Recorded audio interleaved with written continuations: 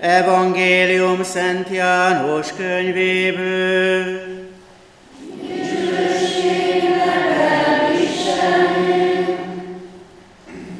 A hét első napján, kora hajnalban, amikor még sötét volt, Mária Magdolna kiment a sírhoz. Odaérve látta, hogy a követ elmozdították a sírtól. Erre elfutott Simon Péterhez és a másik tanítványhoz, akit Jézus szeretett, és hírül adta nekik. Elvitték az urat a sírból, és nem tudom, hová tették. Péter és a másik tanítvány elindult, és a sírhoz sietett.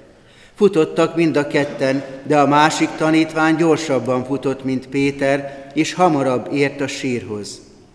Benézett, és látta az otthagyott gyolcsleplet, de nem ment be. Közben odaért Simon Péter is. Ő is látta az otthagyott lepleket és a kendőt, amely Jézus fejét takarta. Ez nem volt együtt a leplekkel, hanem külön feküdt összehajtva egy helyen. Akkor bement a másik tanítvány is, aki először ért a sírhoz. Látta mindezt, és hitt. Addig ugyanis még nem értették meg, hogy Jézusnak fel kellett támadnia a halálból. Ezek az evangélium igény.